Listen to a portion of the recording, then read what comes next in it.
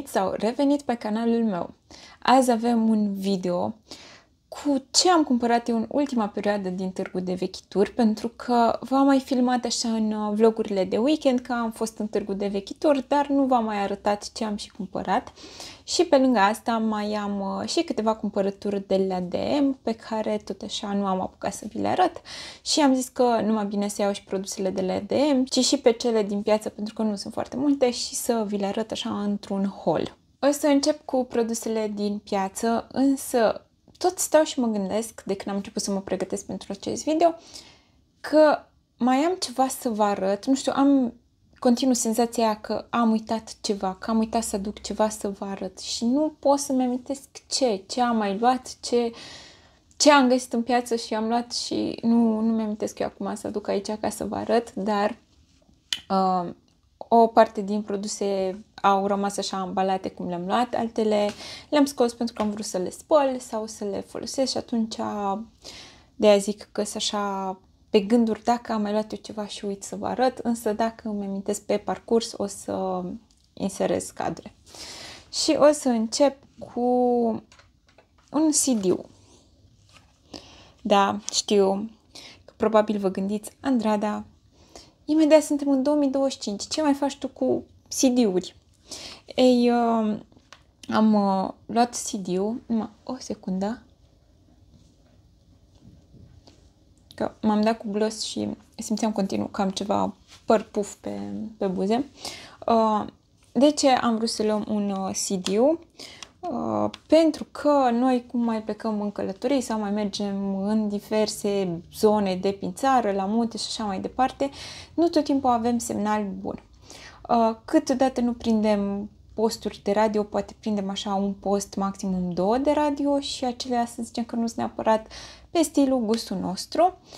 Și alteori nu avem semnal la internet încât să putem uh, pune muzică de pe YouTube. Așa că am avut momente în care am mers, nu știu, jumătate de oră, 40 de minute pe diverse drumuri și eram așa, știi ceva, mai bine oprește radio decât să ascultăm chestia asta și stătem așa în liniște.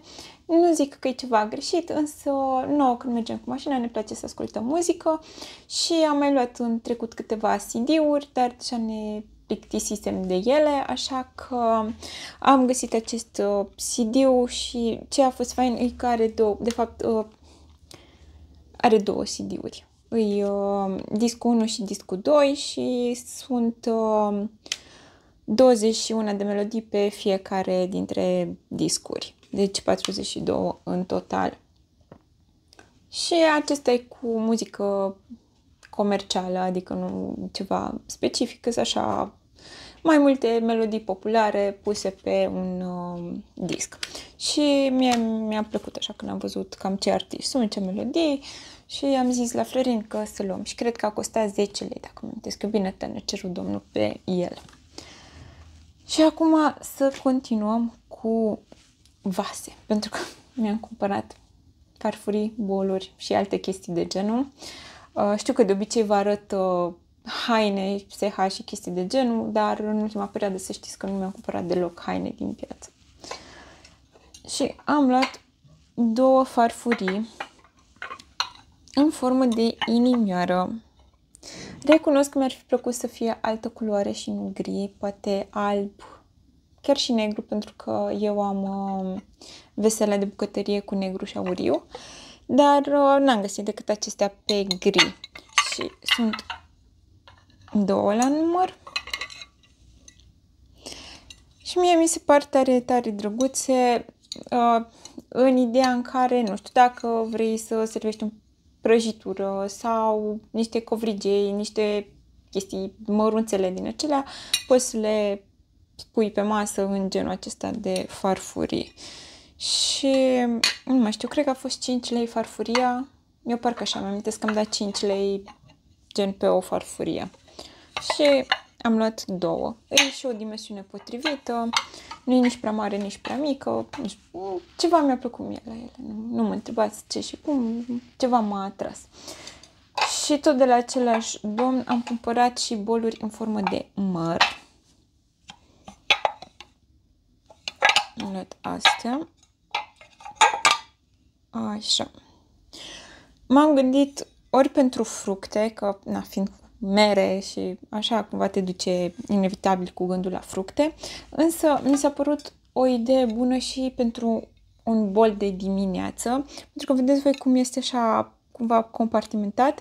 M-am gândit că ar fi o idee gen într-o parte să pun cereale, în alta iaurtul, în alta fructele și cumva să le combin așa în bol, nu știu. Mi se pare potrivit pentru micul dejun, v-am zis, pentru cereale, ovăz, terci, chestii de genul, unde vrei să pui poate și niște fructe lângă sau niște semințe sau chestii extra. Și mi s-a părut așa drăguț. Acestea cred că au fost 10 lei bolul, dacă mi-am bine, și farfurițele au fost mai ieftine, au fost 5 lei. Și am luat două să avem. Astea le-am și spălat farfurile și tot, uh, le-am spălat, le-am băgat la mașină să spăla vas așa, dar nu le-am folosit pentru că tot în ideea să nu ideile le-am pus deoparte și am zis că prima vi le arăt vouă și uh, piesa de rezistență la care trebuie să-i și găsesc un loc unde să o pun. Uh, este tot o farfurie. Aceasta am primit-o așa ambalată și în punguță. Este această farfurie pictată cu fructe care are un șnur la spate și poate fi agățat. Adică ea este o farfurie din aceea de agățat, de decor. Și mi-a plăcut tare mult. Uh, brandul cred că este Long, Longwy France. Uh, mă bate puțin denumirea, dar uh, vă las aici voi să vedeți. Și mi-a plăcut și că este gen semnat aici jos, are și ștanță aici pe spate, adică pare a fi chiar o, o farfurie diferită, specială, știți ce zic? Și mai văzusem ceva Uh, cu niște animăluțe tot în genul acesteia, dar uh, recunosc că alea nu mi-au plăcut atât de tare cât mi-a plăcut asta. Asta i-a plăcut și la Florin și nu știu exact dacă să o pun la mine în bucătărie sau uh, să o mai păstrez și să o punem în viitoarea noastră bucătărie de vară, pentru că pentru anul viitor o să vreau cumva să reamenajăm terasa exterioară și să am și o parte ca de mini bucătărie. O să vrem să facem acolo cu grătar, cu apă, cu câteva chestii de care să zicem că am avea nevoie când uh, poate avem să fie la un grătar și să le ai la îndemână, să nu tot intri în casă ieși și chestii de genul. Deci, uh, da, dar asta o să se întâmple din primăvară încolo când vine căldura ce ține de exterior, de amenajatul terasei. Și încă nu știu dacă să o agăț la mine în bucătărie sau să o păstrez pentru bucătăria de vară, dar uh, măcar undeva tot aș expune între timp pe la mine pe aici, prin bucătărie, aș găsi așa un loc, pentru că v-am zis, îmi place, îmi place tare mult. Așa drăguță cu ananas, cu măr, cu lămâie, cu copăcelul acesta care înflorește pe fundal. Tare cute. Astea sunt cumpărăturile din piață. Dar v-am zis, tot în, am undeva senzația că am uitat să vă arăt ceva, dar nu pot aminti ce. Și să vă arăt și produsele de la DM, pentru că aici am mai multe. O să încerc să le iau așa într-o anumită ordine, să aibă un sens așa cum vi le arăt, să nu vi le arăt chiar foarte, foarte amestecate, cu toate că eu le am aici într-o punguță, dar o să încerc să le iau așa din pungă încât să capete un sens. Uh, eu acum vreo săptămână și puțin am început să mă stresez că nu mai îmi plăcea cum stătea machiajul și absolut nimic pe fața mea pentru că îmi simțeam tenul foarte, foarte încărcat. Și am zis, ok, nu se mai poate, uh, trebuie să fac ceva.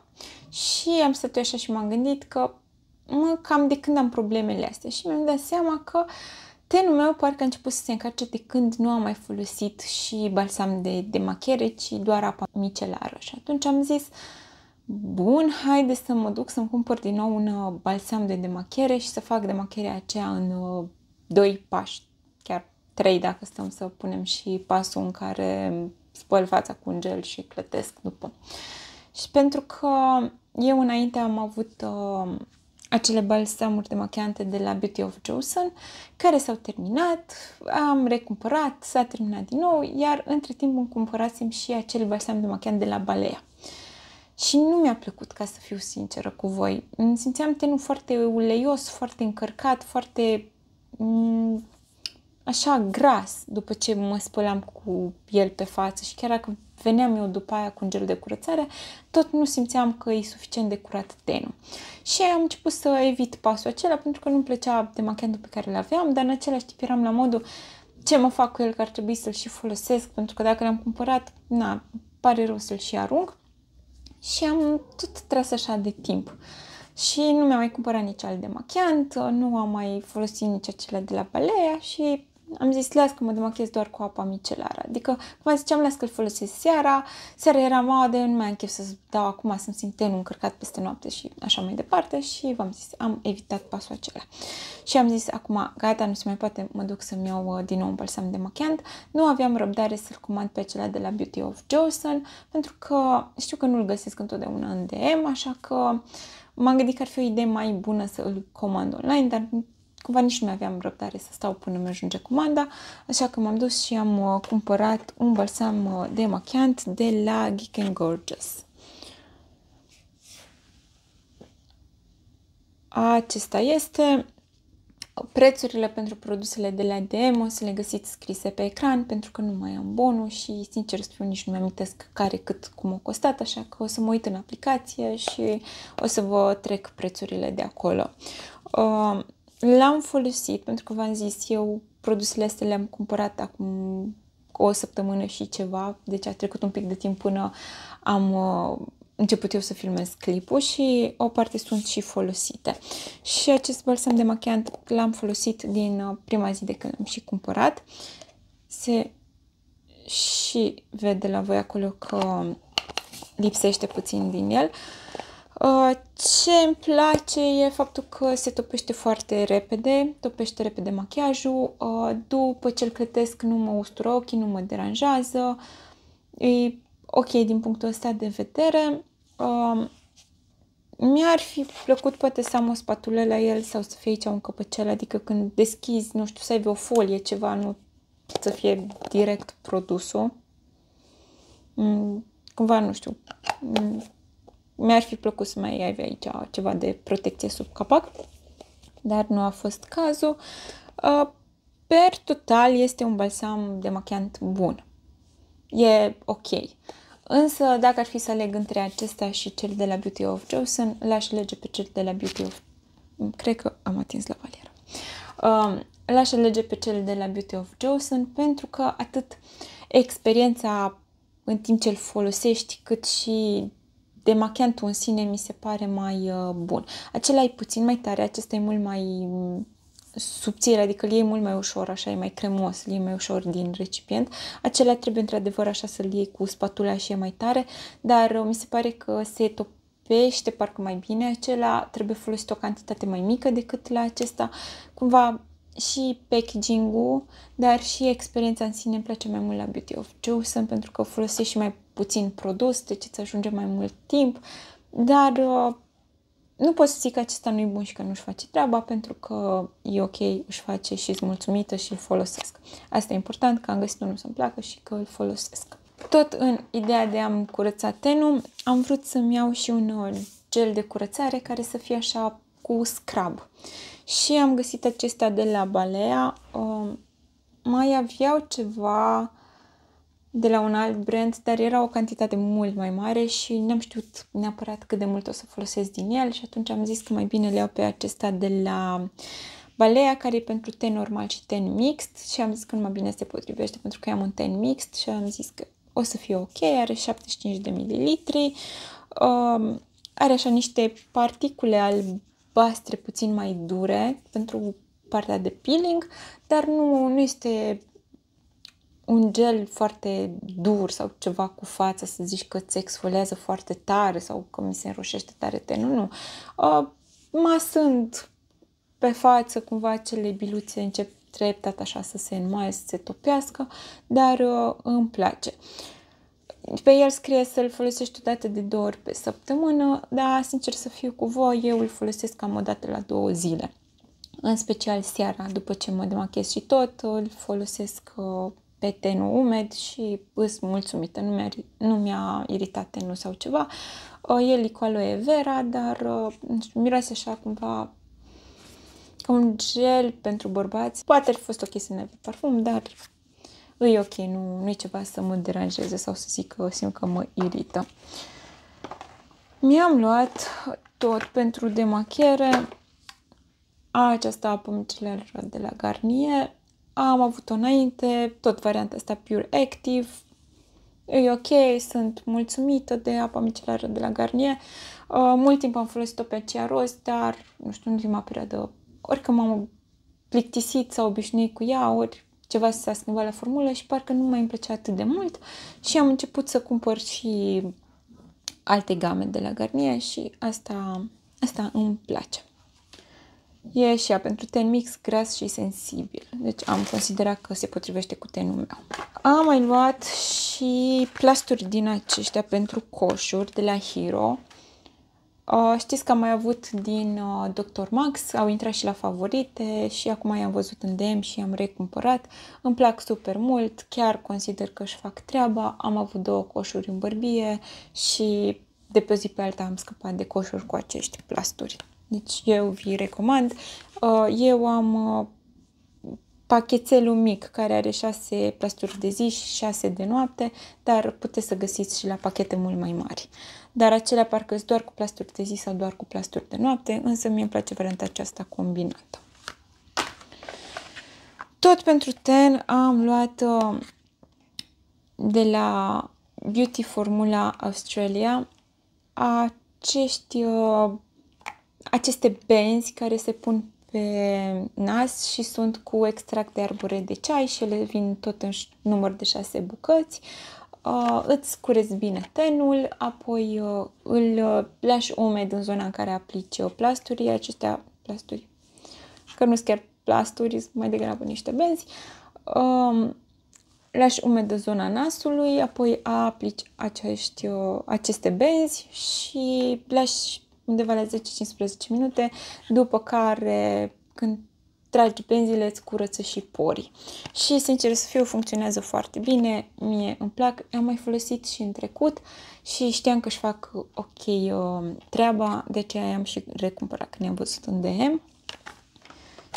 Și tot uh, pe partea de plasturi am găsit și acesta de la Nivea. Uh, nu i-am mai folosit până acum, sunt curioasă, nici nu i-am testat între timp, sunt chiar curioasă pentru că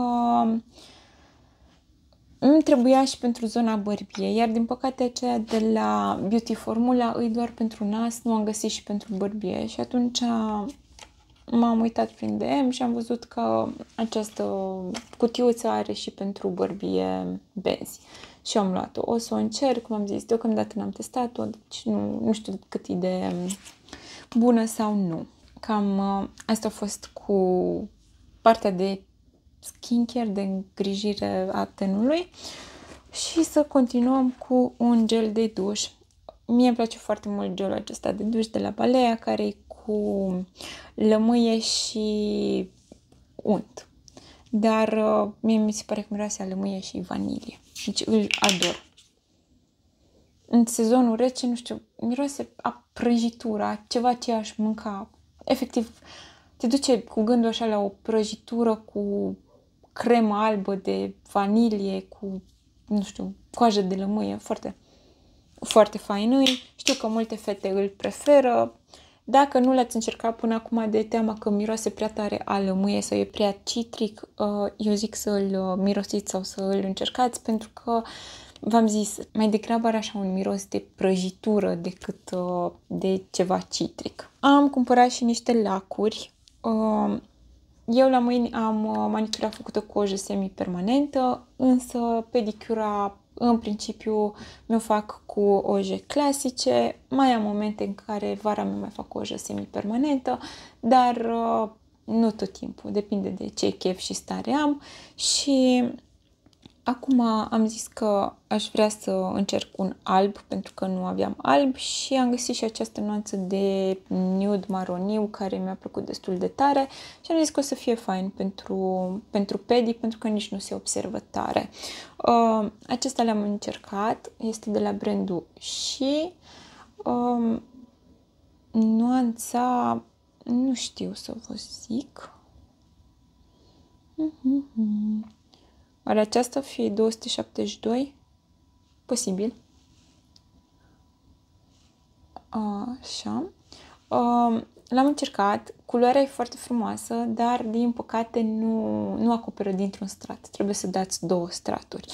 Pe mine una nu mă deranjează că se și usucă repede, dar uh, mi-ar fi plăcut poate să fie așa puțin mai pigmentată, pentru că în sticluță pare destul de pigmentată dar uh, consistența lacului în sine e una foarte subțire și atunci când îl aplici, uh, nefiind nici foarte gros, nu e așa ca un gel, uh, nu, nu acoperă suficient de tare.